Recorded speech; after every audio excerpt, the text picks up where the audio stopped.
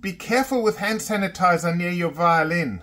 It can squirt in the wrong direction, and this can happen. This is exactly what happened to one of my clients. He had a student and he obviously he has the students put on hand sanitizer before the concert but the bottle must have been a bit funny and a drop just squirted across and onto his violin but he didn't realize so hand sanitizer works with alcohol and violin varnish gets dissolved by alcohol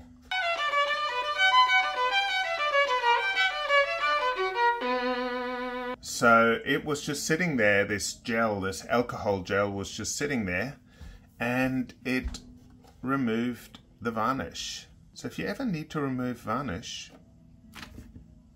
hand sanitizer. But you shouldn't have to remove varnish. I work with like precious instruments and varnish should never be removed. So I got the instrument here and it's my job to fix it and try and make it disappear. I'm gonna give it a good go. It's not the most expensive violin, so I can't spend like a week restoring it uh, like I would if it was a really expensive violin. But I want it to look really good. So, um, but also the violin has this antiquing, like it has these darker marks. So I'm to have to try and emulate some of those darker marks uh, which is harder to do afterwards. So um, wish me luck. This should be really interesting. Um, yeah, so you can watch me retouch this and make it disappear. So the first thing I'm going to do is I'm going to take off the strings.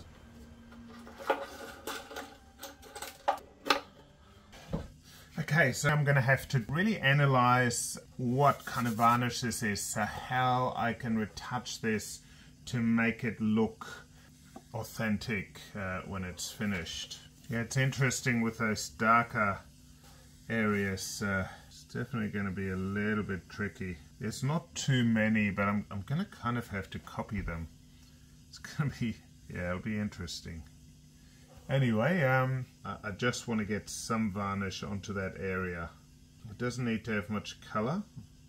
It just needs to seal the wood. It's literally, it's taken everything off.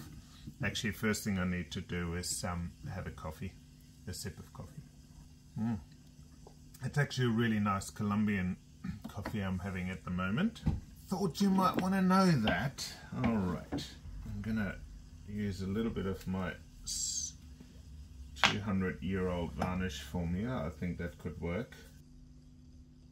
Okay, that's it. That's the start. Uh, it's literally going to have to dry for a while now. The good thing is that you don't have to wait here for the varnish to dry, which could take a couple of hours. So I'm going to let you in every time I do the next step on this um, on this retouching. At the same time, I'm also um, planing the fingerboard on this instrument. But first of all, I just wanted to protect the area um, with the first coat of varnish. I've left this dry a little bit, um, just working back a bit further. And uh, I have put one more coat of clear varnish on there and you can see how it sort of overlaps over the edges. But also when the um, hand sanitizer dropped on there, it also overlapped a bit. So what I need to do is I need to sand this area very, very finely just to get rid of some of that overlap.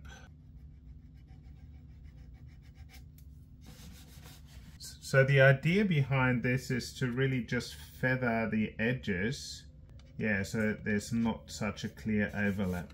I am going to start mixing a color.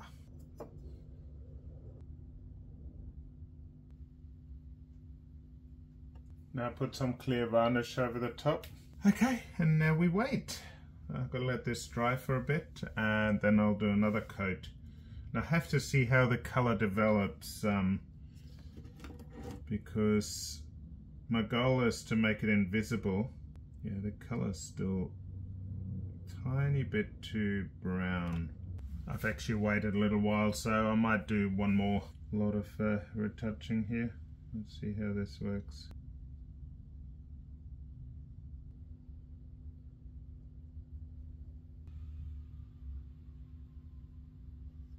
Okay, that's getting a bit closer. It's still a fair way off, but it's already a lot less visible than it was um, a little while ago. But I really, I'm go I want to let this dry and then I want to take a look at it tomorrow during the daylight and see how it looks in uh, with, with, in the different light. You've got to be a bit careful with this kind of stuff because yeah, you want it to be as invisible as possible in, in different light conditions. Now I really am, now I am going to leave it overnight. Uh, I'm done for the day with work and I'll get back to it tomorrow. it's evening now. Um, still working on this uh, retouching. Just trying to make the uh, that area invisible.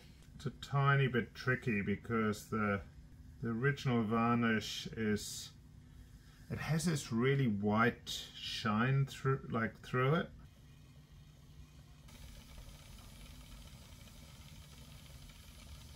Now I just have to put on some cover varnish, like a clear varnish. I'm, I'm using a, uh, I'm actually using a cover varnish.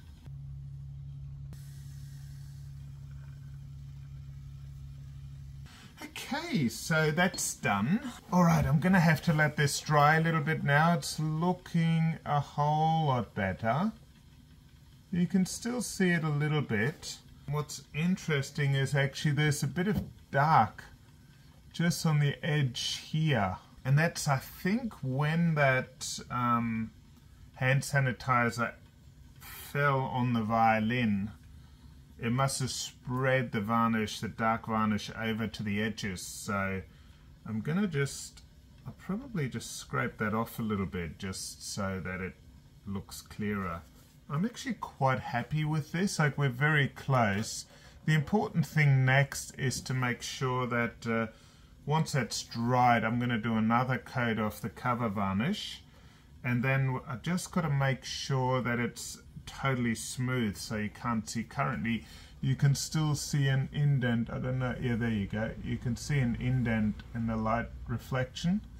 And so I've got to get rid of that indent because in the end what's really important is that you have a totally smooth finish over the whole thing now it's not totally invisible and if this was a 10, 20 or $30,000 violin, I would probably spend more time on it, but I actually I actually did this really inexpensively. So the important thing is that the, the spot's hidden, it looks good, um, and like I said, if it was a much more expensive violin, I would spend a whole lot more time on it and really get every tiny little dot matching. But I am running a business and uh, and I, I can't just keep working on it for hours, hours and hours. I've allocated about one hour of my working time to getting this right and I've probably spent a little bit more but you know I'm also filming this video so that takes a bit of time. But uh, yes uh, the colors I've been using for color are my uh, Winsor Newton colors. What's important is that all these colors are transparent colors. So they go transparent once you put the varnish on them. So what I do is I lay down a couple of varnish layers then I lay straight like lay down straight. The color layer so I'll mix the color try and get it as close as possible to this. And I'll lay down the color layers and they dry looking a little bit um, they, they actually look totally different but then you just put a very thin coat of clear varnish over the top and the proper color shows up but it's it's tricky and then uh, the the really tricky bit is kind of matching it in blending it in right at the end to make sure it, it sort of fits in with the rest of the varnish you can see I incorporated some little dots in there as well. Um, same, you can see all these dots all, all up here, like little dark dots, and I did exactly the same on this area. Now I'm to just scrape off a tiny bit of like where it's darker, just around the edges. That's a little bit better. Yeah, I'm to do one more coat of cover varnish and then I'll let it dry for quite some time. I'm working into the evening. The violin's actually getting picked up tomorrow, so that'll be uh, that'll be good. Okay, so um, I've waited a little while. I'm going to do a bit of polishing on the rest of the instrument. I have also, um, a bit earlier, I actually planed the fingerboard, but you've seen me planing plenty of fingerboards, so you don't have to watch that again. But um, polishing over the instrument's a good idea. Varnish has an unusual smell. It actually smells like it's got some propolis or something. Uh, smells like honey. Just got to be really careful. I uh, don't want to polish too much over the area I've been working on. I kind of need to sand it first. But I just want to go over the rest and uh, just give it a polish. Also, there's a bit more cleaning I have to do here. I'm comfortable to actually sand over this other area as well, so I'll do that. Um, okay, so uh, I'll just put on another clear coat. I'm going to let that dry some more. Good morning. Okay, so last night I got very close to finishing this retouching. Uh, I sanded it one more time and then added, you can see I added the, the cover varnish over the whole area. So I'm going to do one more sand here and then I'll polish the area and that should be enough to make the whole area look as one. I always use a bit of water on the sandpaper as well. It makes it not quite as harsh.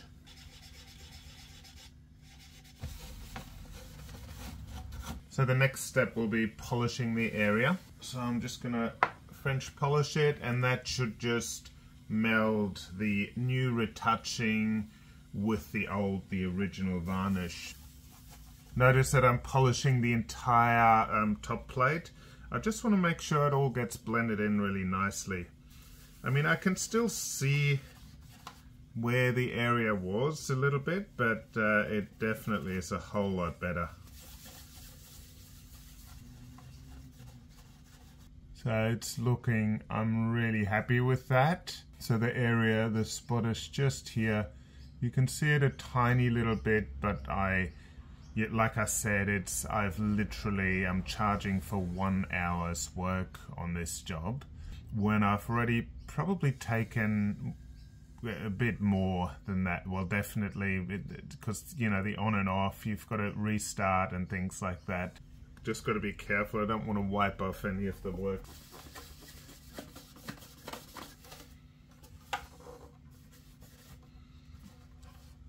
Okay, so I'm gonna let that dry some more now and then uh, I will get back to it later. Okay, so this has uh, dried a bit. Um, I will just sand it one more time. And I'll polish over it again. And after that I'm to let it dry and put the strings on. Yay! That just needs to dry and then I can put the strings on. Okay, it's time to put the strings on. I'm actually happy with this. I just realized I have to lower the nut a tiny bit as well.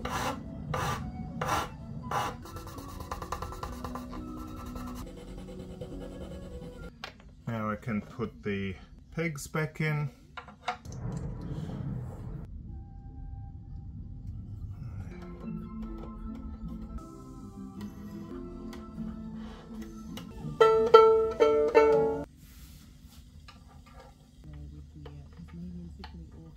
Okay, I can go over to the shop now and try the instrument and make sure that everything's working fine.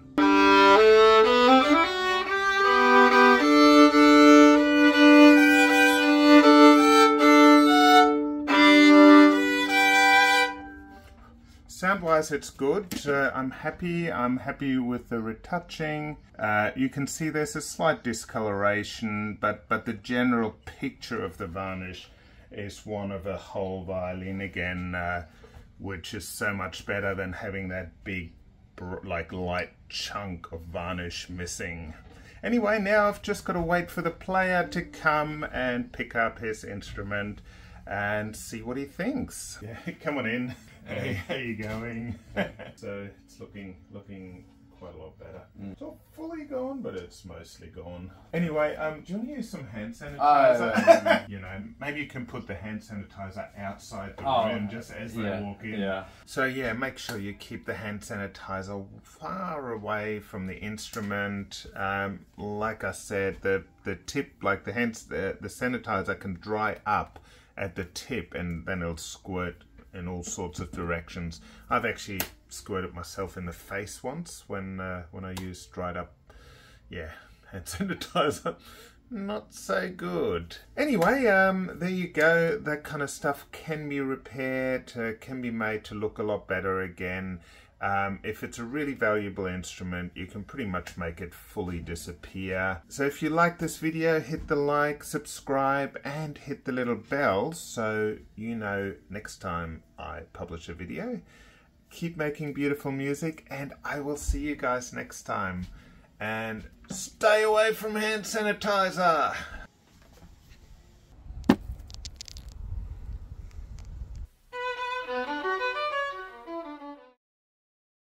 You're probably wondering how I did the hand sanitizer on the violin and I promise you it didn't get harmed.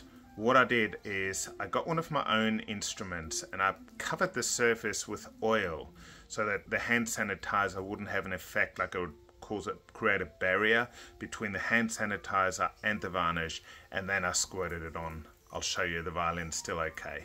So no instruments were harmed during the making of this video. However, when you put hand sanitizer on your instrument, it does harm your varnish.